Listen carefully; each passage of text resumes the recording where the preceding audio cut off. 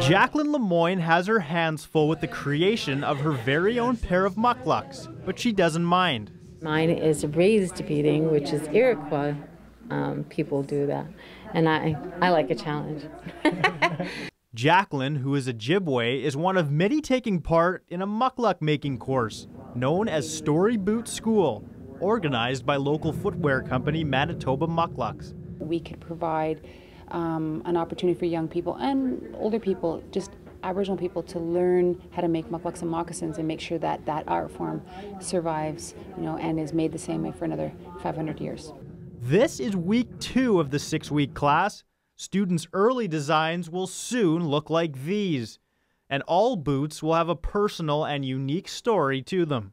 I've seen so many students just kind of sit there and, and think about what is it who, are, who they might be thinking of their children, they might be thinking about their grandmother, they might be thinking about somewhere they've been, and it's a story. It's those thought processes you're pulling from your past, you're pulling from your present, and you're putting it into this this piece of art, and it's a living, breathing um, story.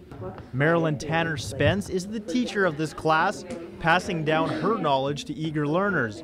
The owner of local business Tika's Boutique says her way is just one of many. I could teach a class here today on how to make a moccasin, and another uh, group, another person could come in here, maybe from a different tribe, and they would teach a different style. So there's not one right or wrong way to make a pair. Just like shoes, there's millions of different styles of shoes.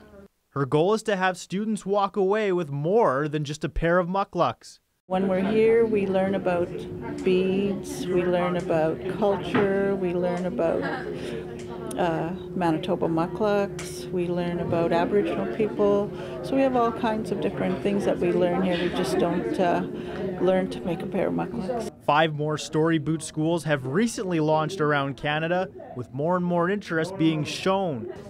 Handcrafted mukluk and moccasin making is fading thanks to mass manufactured types of footwear.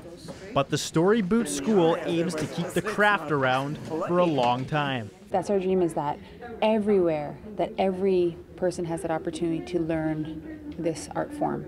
And it's it's it's more than just making moccasins. It's more than just you know making prayer mukluks that you can wear around. It's it's about cultural revitalization. It's about um, clawing back what has been lost in in in a lot of different ways people have you know lost this art form so i'm trying to make veins on my beadwork and storyboot students like jacqueline are excited to soon hold their personal version of aboriginal heritage I like the the way it looks. I like the way it's you know comes out and whatever. So, and I've been beading other things in my life, but uh, not mukluks. I'm interested in it. I really like it. For Shaw TV's Go, I'm Kevin Hirschfield.